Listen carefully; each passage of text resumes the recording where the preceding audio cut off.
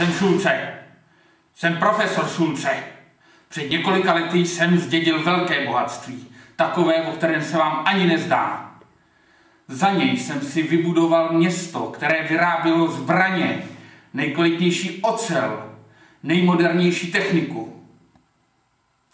Ale moje bohatství mohlo být ještě větší, kdyby polovinu mého dědictví nedostal neprávem starosta francouzského města Sarasy. Konečně, po letech mého bádání se mohu konečně Sarasinovi a jeho městu pomstít.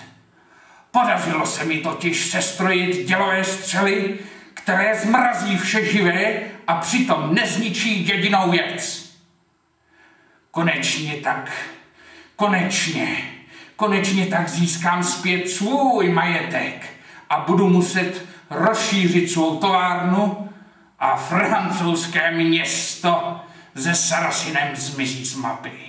Jo, už se těším.